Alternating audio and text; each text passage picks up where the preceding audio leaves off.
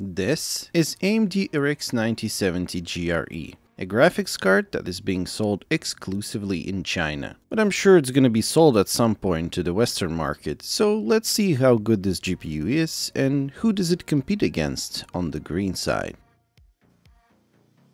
You're probably aware that Nvidia, Intel, AMD, they all make Chinese exclusive products, and this is one of those products. This graphics card, just like 9070 XT and 9070, is based on Navi 48 chip. It's basically a very cut down version of 9070. Basically, 25% of this chip is disabled and you also get 4 less gigabytes of VRAM, and that lowers memory bandwidth significantly. In this review, we're going to take a look at Gigabyte 9070 GRE Gaming, which is absolutely identical to 9070 gaming. Like seriously, unless you look at the name on this tiny white tag, you will not be able to tell them apart. They're absolutely identical. So Gigabyte just took the gaming version of 9070 and made a 9070 GRE out of it. And by that I mean they're using the same cooling solution. Obviously the VRAM chips are not there and the chip is different. I was able to purchase this graphics card from a Chinese seller for around 500 US dollars. The cheapest 5070 was around $50 more, so not a bad deal. So in order to properly evaluate its performance against the nearest graphics card from AMD and Nvidia, I'm going to take the 9070 non-XT version, 9060 XT 16 gig, and unless you play only esports titles, do not buy the 8GB version ever, and RTX 5070 from Nvidia.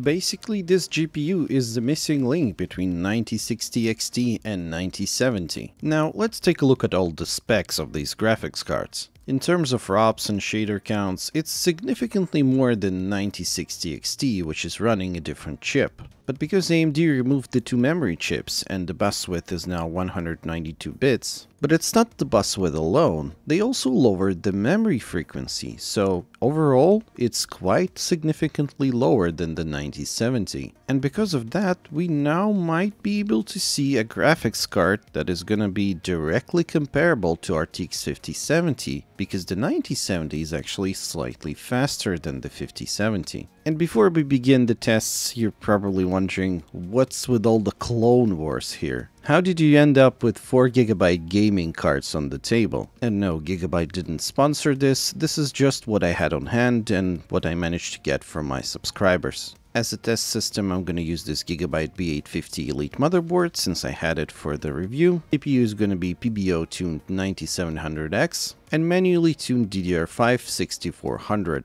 Now, before we begin, I would really appreciate if you could subscribe to the channel. The channel growth really motivates me to do more videos. And the first test is Time Spy, and as you can see, the 9070 GRE and 5070 are really close to each other. I ran this test three times and you're seeing the best result out of three. And 9060 XT is like nowhere near these two graphics cards and 9070 is significantly faster. Now let's run some games. First Full HD, then 1440p, everything on Ultra and no upscaling. If upscaling is enabled by default, I disable it. The main thing I want to compare is the performance of GRE against 5070 and in this game it's very much identical. The FPS difference is basically within the margin of error. RX 9070 is significantly faster than both of these graphics cards and 9070 XT is significantly slower than everyone else. Just to be clear, all tests are being run at least three times and on the slides you see the average result.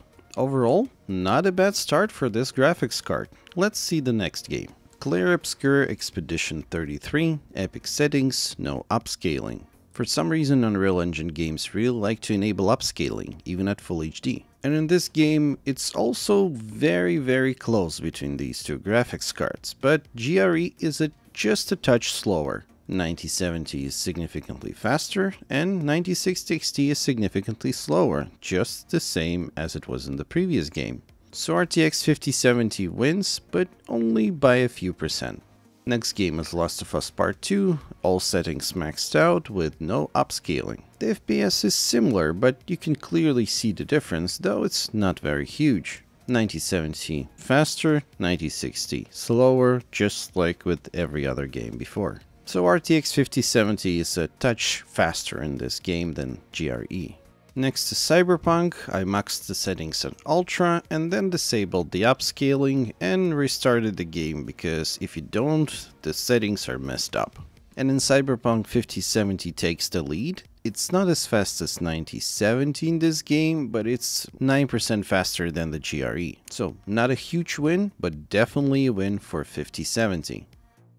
Next is Indiana Jones, settings are set to supreme, ray tracing set to minimum, and no upscaling. In this game, it favors Nvidia just slightly more than AMD. We see 5070 here is closer to 9070 and GRE is, though not very much, but still is behind. We see the same 9% FPS average advantage of 5070. It's very close to 9070 in this game.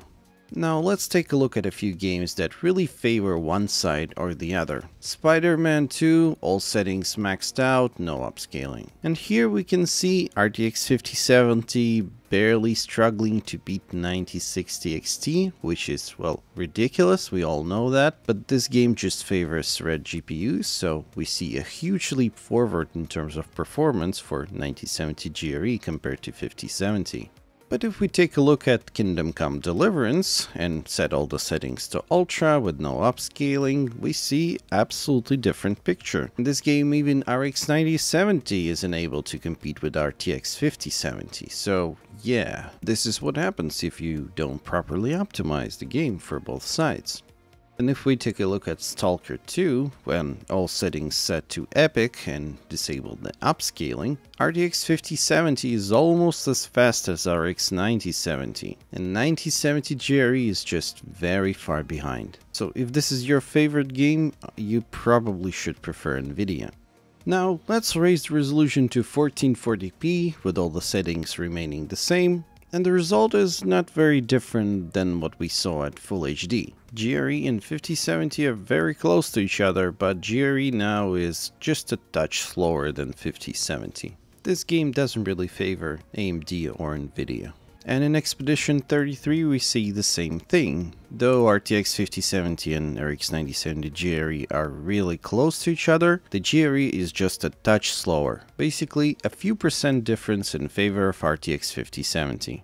In Last of Us Part 2, the FPS is identical. Both graphics cards show absolutely the same result. GRE wins slightly only by 1% lows. I really wonder what changed for this game when we raised the resolution. In Indiana Jones, firstly 12 gigs of VRAM is almost fully saturated, yay! But this video is not about that. But the resolution increased RTX 5070 now is even more in the lead, now competes to 9070, probably has something to do with ray tracing being always on. In Cyberpunk, resolution increase has no effect on FPS difference. We still see the same 9% FPS difference in favor of 5070, and honestly it's already enough to understand the performance of this graphics card, because it's either the same or slightly lower in performance as RTX 5070, at least in games that do not favor one or the other side. If we take a look at games such as Spider-Man 2, we see significant difference in favor of GRE,